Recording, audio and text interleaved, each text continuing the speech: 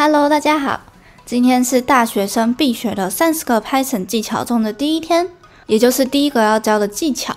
在学程式之前，当然就是要先建立好一个写程式的环境。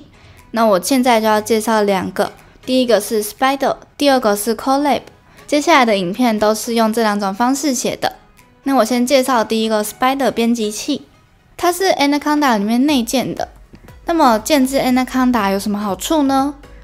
它的安装很方便，那里面也安装好了很多常见的环境，像是 Jupyter Notebook 还有 Spider 都是比较常用的。那我现在就先教你们怎么下载 Anaconda。首先就是在这里搜寻，接着点到它的官网，按下这个 Get Start，就有 Download 的这个选项。那这里就可以根据你的系统来选择你要下载哪一个版本，像是 Windows 就按这个嘛，然后 Mac 或是 Linux 就可以依照你的需要去选择下载部分。我就不再下载一次了，因为我已经有了嘛。其实安装它也非常的方便，你就下载完之后按下安装，有下一步就按下一步，有完成就按完成，这样子就建立好了。那我们来看看 Spider 编辑器会长什么样子吧。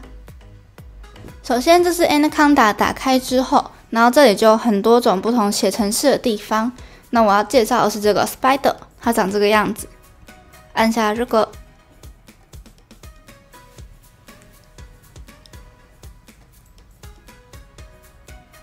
那打开之后就是长这个样子。在 Spider 里面可以去撰写，可以去执行 Python 程式。Spider 还提供了简单的智慧输入，还有强悍的程式除错功能。在左边这一块就是写程式的地方，然后这里是程式执行的结果。那这一个地方呢，就是变数还有档案的浏览的地方，就是还蛮方便的。它会显示说这个变数现在的值是多少这样子。那执行程式就是这个环境最重要的地方嘛，可以看到这个绿色的三角形，按下去它就会执行所有的程式。那如果你只要执行单行的话，就是按下这个白色的三角形。它就会只执行你要它执行的那一行。那基本上你只要学会执行程式，学会 Python 就是时间的问题啦。那我们来测试一下好了，在一开始写程式的时候，不知道你们知不知道，都要先输出一个 Hello World。不管是任何语言都是这样子吧。那我不要 Hello World，我要 Hello Nini，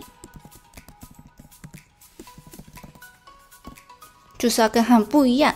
然后按下执行，它就会执行出我刚刚打的这一行。那这样就测试完喽。哦，对了，还有一个地方也蛮重要的，就是如果你想要更改这个界面样式的话，可以按下这个，像是扳手吧，点下去，然后选择这个。这里的话可以更改它的背景颜色，像我现在是黑色嘛，如果按下这个，它就变白色。或是你想要改它的字体，这就是改字体的地方，还有。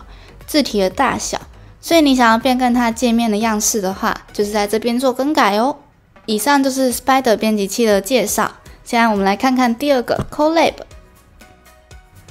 刚刚介绍这个 Spider 就已经听起来不错了嘛，那为什么还要再介绍 Colab 呢？它有什么优点？第一个就是它非常的简单上手，完全没有任何下载或是安装的步骤。只要打开浏览器，然后搜寻 Colab 就可以使用它喽。第二个就是它可以免费使用 GPU，因为 Colab 是使用云端虚拟机来运行的编辑器，然后是由 Google 免费提供的，对于新手来说就已经蛮够用的了。第三个就是它有一个很方便又很轻松的共用功能，因为它是云端来操作的嘛，所以它是存在 Google Drive 里面。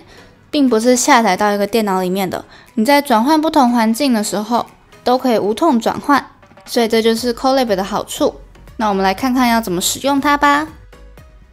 直接搜寻 Colab，按下第一个，然后这边按一下新增笔记本，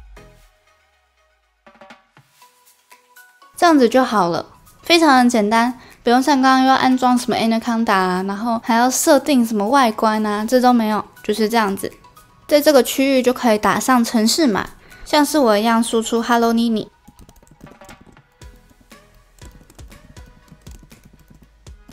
然后这边这个箭头就是可以执行，按下去，它就会输出了。这样子就是 Colab 的使用方法，非常的简单，也不用下载任何档案到电脑里面，所以它是一个非常方便的编辑器。所以我接下来的影片主要都是用 Colab 来操作。那今天就是第一个技巧，介绍了两种不同的环境，那就可以看你喜欢哪个就去下载哪个喽。我们下个影片见，拜拜。